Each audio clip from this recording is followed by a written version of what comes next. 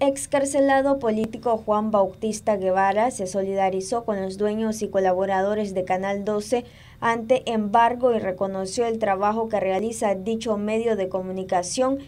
Trabajado arduamente, siguen trabajando a pesar de tanta persecución, a pesar de tanto asedio, a pesar del embargo que le está inventando a este medio de comunicación independiente y que ha estado siempre al lado de este pueblo sufrido, ha estado al lado de la gente que sufre los embates de persecución, de asedio, al lado de los presos políticos, al lado de los hermanos que están en las mazmorras, al lado de los asesinados, de los exiliados y en fin, de toda esta nación que tiene ansias de libertad.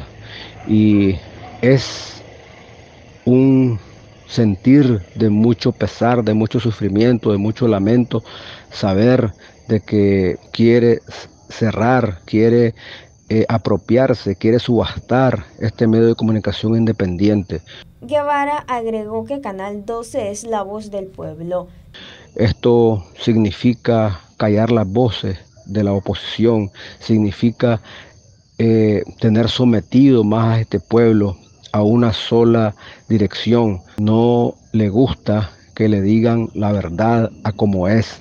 Y realmente el Canal 12 es eh, la voz del pueblo.